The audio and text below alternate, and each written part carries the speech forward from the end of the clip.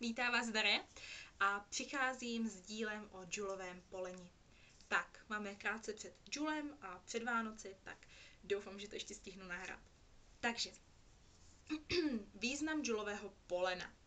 Džulové poleno je primárně považováno za jakousi oběť při uh, rituálu zimního slunovratu, při rituálu džul, kdy vlastně se pokládá oběť za celý ten rok a je to jakési taky uctění toho roku a příslip toho, že ten nadcházející rok bude dobrý.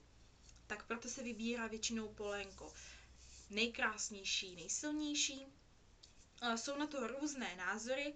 Někdo tím obětuje jakoby celý strom a pak vybere část jeho kmene jako jewel poleno, tak tomu bylo většinou hodně v minulosti, kdy ty polena byla velká.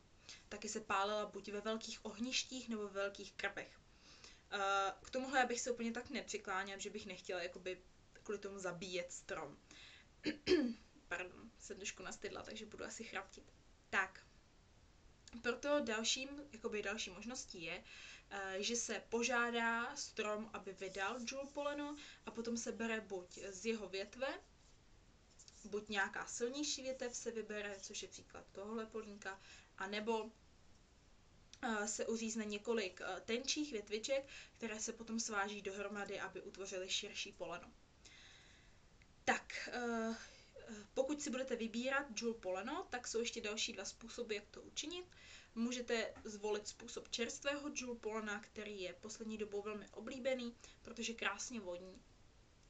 A můžete vlastně v den slunovratu nebo třeba den před slunovratem eh, si můžete jít vybrat jewel poleno a donést ho čerstvě uříznuté. Nezapomeňte, pokud budete eh, brát poleno z živého stromu, tak ho požádat a donést mu nějaký dar na oplátku. A nebo můžete Jewel Poleno vybírat jakoby rok dopředu, což jsem třeba udělala já. Tohle je dokonce už vybrané dva roky dopředu, kdy jsem ne přímo o zimním slunovratu, ale během roku jsem si prostě vybrala tohleto polínko a až teď k němu přišla, přišla ta doba, kdy vlastně z něj vznikne to Jewel Poleno. Většinou se to přímo o zimním slunovratu se vybírá polénko na další rok. To je taková tradice.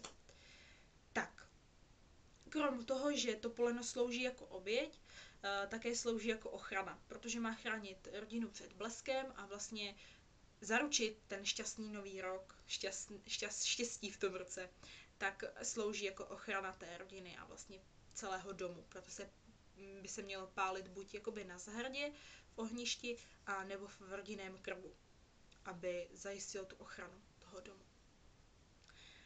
Tak, o významu myslím, že všechno. Takže bych přišla k tomu, jak Jewel poleno posvětit.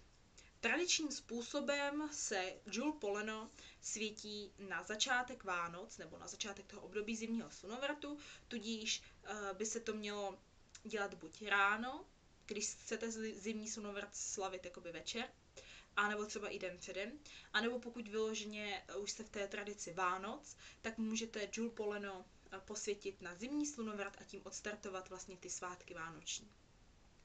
A provedete to tak, že když si tedy nějakým způsobem, jakým jsem už popsala, nebo možná ještě nějakým jiným, eh, obstaráte Jewel poleno, tak potom si k němu připravíte sůl, a dále potom svařené víno, anebo rituální víno, pokud ne, nepoužíváte vyloženě víno svařené, nebo taky to může být nově medovina a nějaký vámi posvěcený olej. Můžete použít nějaký olej přímo posvěcení k Joule rituálu, nebo přímo vytvořit olej pro Joule poleno, anebo jednoznačně, nebo jednoznačně, až dneska plátám, nebo můžete použít prostě olej se skořicí či nějakými uh, podobnými vůněmi, které se hodí k tomuhle období. A vlastně to poleno polijete olejem, zasypete ho solí, a zalijete ho tím svařeným vínem. To víno by nemělo být horké, rozhodně by mělo být vychlazené. A nešetřete tím vínem, opravdu zalít, aby se pořádně nasáklo. To poleno by mělo vonět. Proto ani tím, tím olejem moc nešetřete. Ono taky potom bude to, to poleno líp hořet.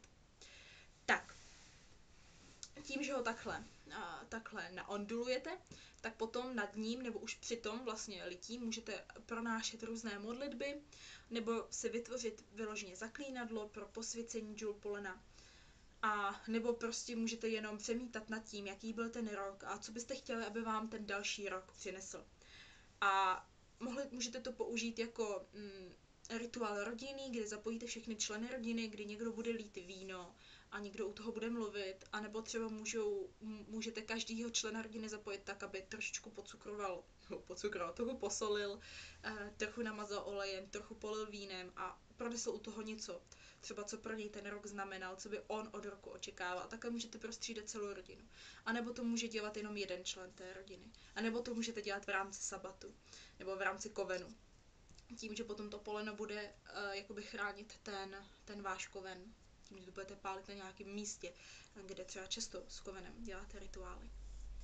Tak, polínko může vypadat takovýmhle způsobem, nemusí se už nějak dál zdobit, ale velmi časté bylo i v minulosti zdobení borovým jehličí, no větvičkami borovými a šiškami borovými, a um, vázaly se kolem něj i třeba červené a zelené stužky, nejčastěji červené stužky a přivazovaly se tam do písky s tím, co byste si přáli příští rok, nebo i nějaké nějaké třeba tužby pro ostatní, co byste přáli ostatním lidem. Takové, jako dnes si posíláme pohledy, tak takovéhle věci se vlastně vázaly na to Jill poleno a s tím se to potom spálilo.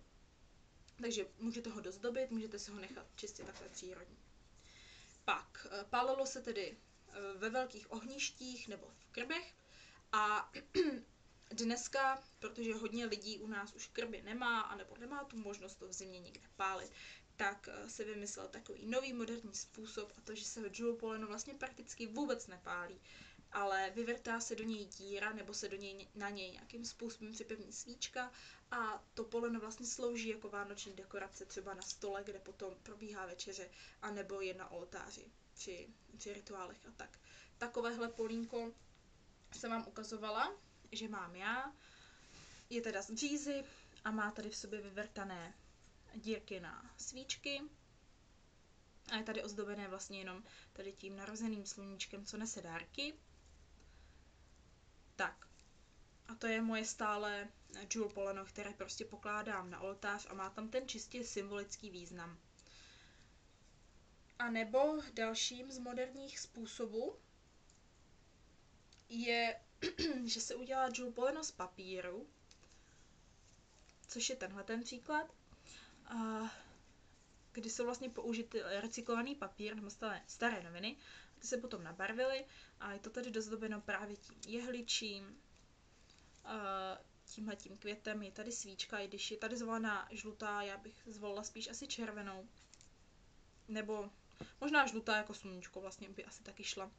Je prostě dozdobená, je už taková modernější stylistika spíš do těch jakoby Vánoc a navíc je to modré, protože se to prostě mojí drahé mamince hodilo do modré kuchyně, tak proto je modré. Takže i takovýhle způsob určitě je možný, kdy vlastně už máte jenom ten symbolický význam. Už to neděláte uh, tak, jak se to přesně dělalo kdysi s tím políváním, třeba tohleto polínko, kdybych ho mamce polila vínem, tak to by asi moc radost neměla. A stejně tak vlastně to poleno, které jsem ukazovala před chvílí, to, co mám na oltáři, tak to bylo taky jenom tak symbolicky postříkáno tím olejem a polito vínem, jenom tak maličko. Protože uh, tohleto všechno, tahle ta procedura se tam dělala kvůli tomu, že když se to poleno pak pálilo, tak to krásně vonělo proto to tam mělo nějaký význam. Když to, když do ní dáte svíčku, nebo na něj dáte svíčku, tak tenhle ten význam už jakoby vyprchává. Možná by se spíš, spíš hodilo takhle naondulovat tu svíčku, že do ní, nebo ji potřete tím olejem, pokapete ji vínem a podobně. Takže doufám, že jsem na nic nezapomněla. A to by byl tedy význam džulového polena a nápad, jak ozdobit džulové poleno. Určitě můžete použít nějakou svoji vlastní kreativitu, můžete uh, na to džulu poleno připevnit ořechy, jablka, sušený citron, pomeranč, cokoliv vás napadne, nebo můžete jenom vyřezat čistě dírky, dát tam svíčku, a nebo můžete použít i jiný způsob, na to jsem zapomněla, kde máte polénko vlastně placaté a dozdobíte ho nějak, já tam teda svíčku ani nemám, ale je ozdobená právě tím borovým nebo borovými šiškami a takhle má nočními motivy a i tohle je způsob džulového polena. Takový už hodně moderní. Tak, to by byla inspirace vánoční slu- slunovratová s nastydlou darajou. Tak jo. Tak, to by bylo asi všechno a uvidíme se zase jindy. Tak ahoj a užijte si Jule.